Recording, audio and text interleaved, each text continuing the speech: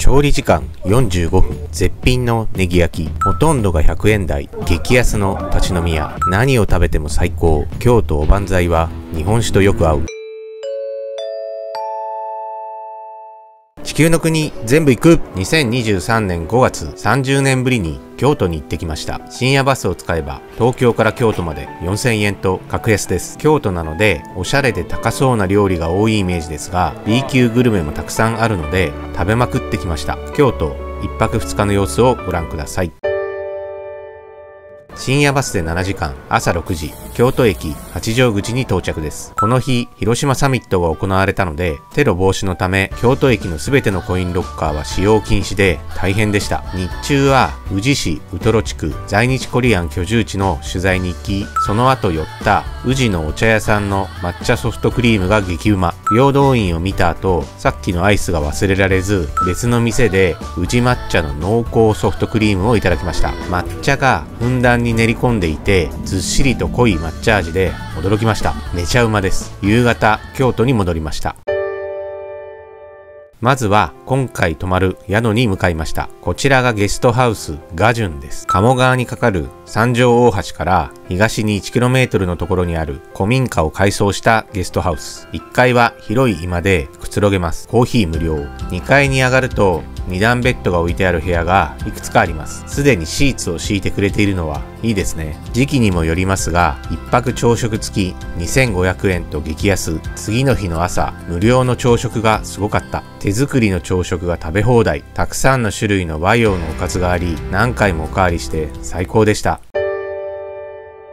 この日の夜、京都在住の友人と飲むため、四条大宮へ、京都駅から北に約 2.5km にある四条大宮は、地元民が集まるディープな店がたくさんあるのだそうです。宿に共同シャワーはありましたが、せっかくなので、昔からある銭湯へ、四条大宮駅近くの路地にある金星湯です。古びた感じですが、小さなサウナもついていて良かったです。全身入れ墨の方もいて、さすが京都や大阪は違うなぁと思いました。四条大宮は京都の中でもお手頃で美味しい店が多いとのこと。まずやってきたのが鉄板焼き居酒屋つぼみです。釣り具店の文字がうっすら残ってますね。たこ焼きの提灯がいい雰囲気です。店は鉄板をカウンターでぐるりと囲んで座る感じで10席ほどの小さな店。さらに外に4人分ぐらい立ち飲み席があります。予約不可でいつ来ても満席とのことでしたが、たまたま2席空いたので座ることができました。ここの名物はなんといってもネギ焼き。出来上がるのに45分もかかるネギ焼きは絶品だそうです。たこ焼きを食べつつ、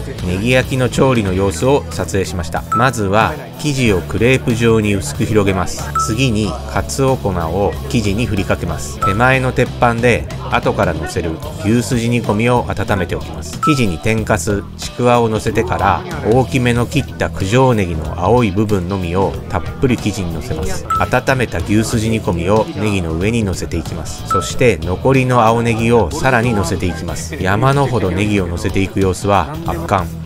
ネギタワーどこまで乗せれるかをチャレンジしているかのようです。これでもかというほどネギを乗せていきますね。このたらいいっぱいにネギがありました。あともう少し乗せていきます。まだあります。これでおしまい。ものすごいネギの量です。次に小麦粉の生地をネギの隙間を埋めるようにゆっくり丁寧にかけていきます。輪切りのちくわを少し乗せます。広がった生地を折り返しぐるっと生地の壁を作ります。この壁があるとひっくり返す時にネギがこぼれないのでしょう。そして2つのコテを使って繰り返します。薄く広げた卵焼きを乗せてからコテを使って10等分に切ります。ソースを丁寧に塗っていきます。ソースを塗った皿に10等分したネギ焼きを1つずつ乗せて完成。45分かかりました。これはもう芸術作品ですね。山のような九条ネギがこんな感じでぺったんこになりました。甘みがあって濃厚なネギ焼き一言では言い表せない味で最高でした。つぼみから徒歩3分、毎日行列ができる立ち飲み庶民にやってきました。店の名前が庶民とは面白いですね。このおじさんがぐいっと飲んでいるシルエットが目印、サラリーマンの味方の店です。20分ほど並んで、ようやく店内へ。大混雑しているので、美味しいのでしょう。楽しみです。店内の様子はこんな感じで、まさにラッシュの電車の中といった感じ。この店はとにかく安い。100円台のニューがたくさん。一番高いメニューが刺身盛り合わせで500円。酒も料理も基本300円以内という明確なコンセプトがあり、料理も酒も両方安い。お通しもないので、安く飲むことができます。まさに庶民のための店ですね。まずは生ビール。キンキンに冷えていてうまい。4時間煮込んだ名物の牛すじ煮込みは200円。ビールによく合います。揚げ餃子150円。漬物盛り合わせ200円。マグロ刺身400円とどれも美味しくて瓶ビールを飲みながら食べましたさらにアジフライハマチ刺身最後にカツ刺しをいただき大満足。2人で2000円以内で最高でした。いやーここは本当に通いたい店ですね。京都に支店が何店かあるようです。この日は大満足で宿に帰り2段ベッドでぐっすりでした。さて次の日の夕方、宿を出て三条大橋に向かって西へ歩いてみました。いきなり坂本龍馬とお龍さんの結婚式場跡があってびっくり。すぐ隣には小さな川が流れていて、柳の木々とともに風情があります。すぐ先には明智光秀の首塚があり、さすが京都、至る所に名所があります。さらに歩くと庶民的な古川町商店街があります。観光地ではありませんが、こういう古びた商店街、いいですね。美味しそうな店もいろいろありそうです。商店街を抜けて西に進むと古い団地が多い地域に来ました。宿の人には行かない方がいいと言われたのですが、銭湯に入りたかったのでやってきました。ここは童話地区。昔からブラック差別を受けていた場所です。私は関東出身なので馴染みがないのですが、大阪、京都の方々は子供の頃から童話地区に対する事業などもあるようです。治安が悪いわけではないのですが、少しだけ他と雰囲気が違いますね。夕飯前に銭湯に入りたかったので、京都市立三条浴場に到着。京都市が経営している銭湯のようです。私立の銭湯とは珍しいですよね。中に入るとその理由が分かりました。ここ三条浴場は童話問題の根本的解決を目指して作られた銭湯とのことで驚きました。地域住民との交流や憩いの場なんですね。理念が素晴らしい。全身入れ墨の方も何人かいましたが、鴨川を渡ると、京都一の繁華街、祇園地区にやってきました。客引き禁止の看板を発見。客引き撲滅標語、イカの刺身はちょっと無理があるかな。こちらは、京都市建設局の放置自転車防止の広告。自転車とゴリラは同じ大きさあなたはゴリラを放置しますか？という斬新な広告にびっくり。フォント帳はかなり細い道ですが、本当に風情があります。通り過ぎた人の8割は外国人でした。さて、お目当てのおばんざい、葵に到着。雑居ビルの通路の奥にあり、店内はカウンター中心で落ち着いた雰囲気の店です。おばんざいとはお惣菜のこと。京都の特色豊かな野菜、肉、魚、旬のものだけを選んでおばんざいにしています。カウンターに並んだおばんざいはどれもうまそう。全部食べたい。ということで、通常2人前のおばんざいを半分の1人前にして、どんどん出してもらいました。瓶ビールを飲みながら、まずはお通し。ごま和えが甘くてうまい。京都名物の湯葉、唐辛子とじゃこ和え。やっぱりおばんざいに合うのは日本酒でしょう。京都近郊の日本酒をたくさんいただきました。まずは、丸竹恵比寿。やや酸味の効いた渋みのある酒。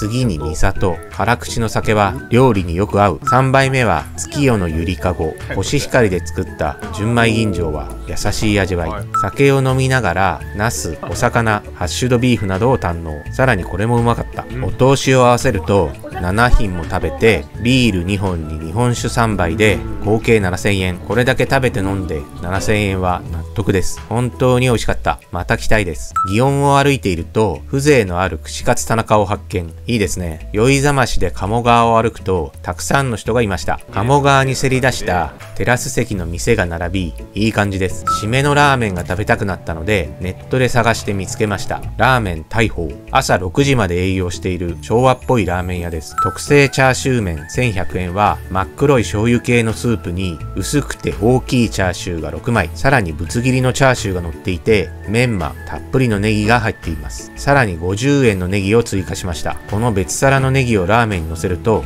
こんな感じ。ネギが多すぎて、麺も具材も見えません。ネギ超盛りチャーシュー麺の完成。固めの細麺とチャーシューをネギに絡めて食べると、激うま。濃いめの醤油スープは飲んだ後に最高。餃子もうまかった。ラーメンも餃子も完食。最高の締めとなりました。鴨川を眺めながら、市場大橋を渡りました。風が気持ちいいです。橋を渡ると、ライトアップされた南座がとても綺麗でした。近くの土産店で生八つ橋を買って食べながら宿に戻りました。私はあんこなしの生八つ橋をガンガン食べるのが好きなんです。特にシナモンを混ぜた日記の生八つ橋は最高。ライトアップされた八坂神社は風情があって感動的でした。京都に住みたい。京都名物の生八つ橋をくちゃくちゃ食べながら八坂神社を歩くと江戸時代の京都にも行ってみたいなぁとしみじみ思いました。また京都に来たいなぁ。以上、ご視聴ありがとうございました。